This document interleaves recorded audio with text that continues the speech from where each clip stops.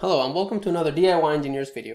In this video I'll be going over the MPU 6050 module which has a 3-axis accelerometer and a 3-axis gyroscope all in one, meaning it can measure accelerations on the X, Y, and Z axis and also measure rotational velocity along those same axes. In the video we'll be covering the sensor pins and directions, how to connect it to the Arduino Uno, programming in Arduino, testing in Arduino, and even doing a 3D modeling simulation to show what the sensor is reading as you move it.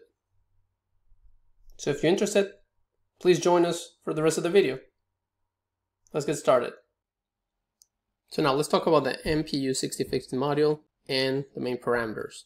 It has an accelerometer range that can go from plus or minus 2G to plus or minus 4G, or you can also run it plus or minus 8G or 16G of course g is a gravitational constant, which is 9.81 meters per second squared. For the gyroscope, which is also built into the, the module, you can have it at plus or minus 250 degrees per second, plus or minus 500, 1000, or 2000, all, all of them in degrees per second. It has an input voltage of 3.3 volts all the way to 5 volts, which means you can feed it with your Arduino Uno. So now, what are our pins? It has eight pins. We have VCC where we provide the power input, ground for the ground which connects to your Arduino ground. Then we have SCL and SDA for the I2C clock pin and your data pin. And you also have XDA and XCL for external I2C pins for data and clock. You have a pin called ADO which allows you to change the I2C address of the module in case you're running other things on I2C. Then you have an interrupt pin which allows it to wake up whenever there's any action or sensing going on. You can also see in the actual board, so you can see here, there's a, a Y and an X axis shown by the right hand rule, then you know that Z will be up, as, I've shown here on this axis shown. And then you have roll and pitch and yaw relative to those axes. Here's how you would connect it to the Arduino Uno. We actually, in this example are only showing five inputs connected because we're not using the external I2C pins or we're not changing the I2C address. So we first have VCC connected to 5 volts on the Arduino Uno. We have ground connected to ground. SCL is connected to the SCL pin and SDA is connected to the SDA pin. And then we have the interrupt which we're connecting to digital input output number 2 on the Arduino Uno. So now the next step is to go ahead, open Arduino, and let's install the required library. To do that, you go to Sketch, Include Library, and then click on Manage Libraries. You then want to go ahead to the search bar and type MPU 6050. The one you're interested is in this one, which I already have installed. All you would have to do is select and click install. I won't do it since I already have it. So once you do, the next thing you want to do is go to File, Example, and go to MPU 6050 and click on MPU 6050 DMP6. And this will open the main example that we're going to be using for this. So to start using this example from the library, all we have to do is scroll down to the section where we define what outputs we want. So in here we have the quaternions, we have the Euler angles, yaw roll pitch, which is turned on by default. We have real acceleration, world acceleration, and the teapot, which is for 3D visualization. In this case, we have yaw, pitch, roll already turned on. All we're going to do is uncomment this one so that we can get the real acceleration. And if you read it, the lines or the comments above says, you know, to uncomment that if you want the acceleration with gravity removed, this will be acceleration within the reference frame basically of the accelerometer. So x plus will always be x plus regardless of the way the sensor is looking at, which means that we're, we're recording and outputting the acceleration from the sensor's frame of reference. If you want something different, then take a look at output uh, readable world acceleration, which basically will adjust the output such that the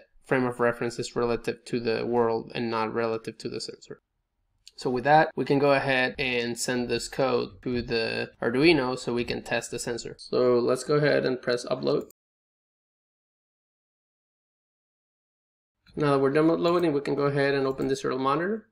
And you're required to enter the input here and then press enter. So for a second, I'm just going to stop the auto scroll so you can see this is essentially giving you the acceleration and then this is the yaw roll pitch angle. The angle is presented in degrees relative to the original orientation, so anything you see here can be minor noise.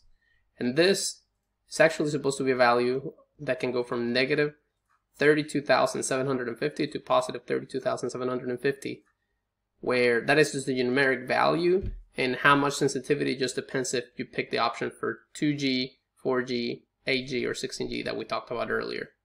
Or 1G equals 9.81 meters per second square or 32.19 feet per second square. The default setting for acceleration is 2g. Basically, this means barely no acceleration. Now, I'll go ahead and turn on the auto scroll again. We can go to the bottom and you can see that if I change now the orientation,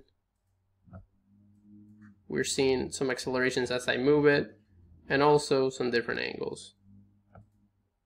So now let's go ahead and change the code to perform some 3D model visualization using processing IDE. All we gotta do is go to the same section that we edited before. We will comment the line that we had been using before to get the yaw, roll, pitch, angle, and degrees. Same thing for acceleration. And we uncomment this one that says output teapot. So with that, just go ahead and upload the code.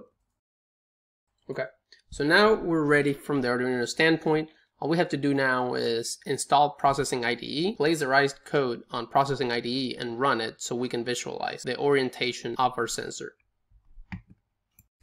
Now, I left a link in the description to take you to the Processing IDE download page. Click it, and once you get there, make sure to click the link to the operating system that you own.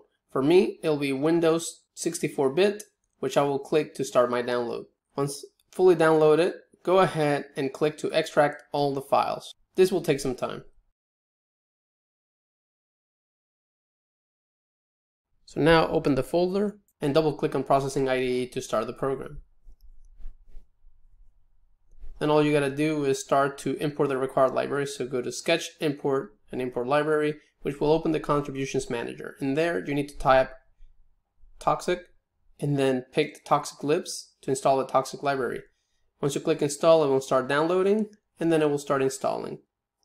Shown on fast forward so you don't have to wait forever for it to install. Once complete install, it will show as installed and then on the top row where it says status, eventually you will see a green check mark showing fully installed. So now that you have all required libraries for Processing IDE, you have to open the required file to run the 3D visualization. So go to File, Open, and you need to go to the right location of the Arduino folder that contains the library for MPU 6050 and find this file. So you can see here that for me is on my PC, then Documents, Arduino, and then from there on, once you get to the, your main Arduino file is libraries MPU 6050, examples, MPU 6050 DMP6, processing, MPU teapot, and then you select this file. This is it. And once you get here, all you have to do is then click run. It will take a little bit and then it will show a window with the 3D model. Right, so now you can see the output of processing IDE and a video of me moving the accelerometer through a 3D printed part that looks like an airplane. So you can see that as I move it in space, processing IDE mimics the shape and the orientation of such shape in space. I move it up and down or sideways and it also goes along with it. So you can see that the MPU 6050 is processing the angles pretty well and keeping up with it through the integration of the gyroscope and accelerometer to keep you know track of motion. So I hope you guys enjoyed this. If you did, please consider subscribing and giving us a thumbs up. Thank you very much and see you in the next one. Bye.